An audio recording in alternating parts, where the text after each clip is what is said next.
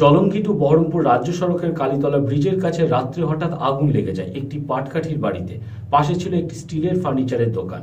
আগুনের গতি বেশি থাকায় বাড়ির সঙ্গে দোকান আগুনে পুড়ে ভস্মীভূত হয়ে যায়। স্থানীয় মানুষ জলঙ্গি থানার পুলিশ এবং দমকল কর্মীদের তৎপরতায় আগুন নিয়ন্ত্রণে আসে।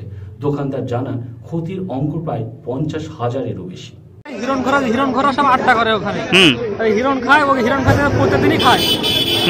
ওইখানে পাটকাঠির ঘর। ওখানে আগুন ধরিতে চলে গেছে।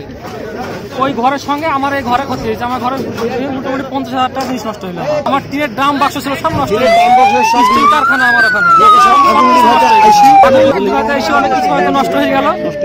আমার টি- ঘরে যা জিনিসপত্র সব নষ্ট হয়ে গেছে আমার। আগুন তো পুরোপুরি নিয়ম এখন তো নিভে ফেলেছি আমরা দেখলাম এখন বলছি আমরা নিভে নিভে ফেলেছি।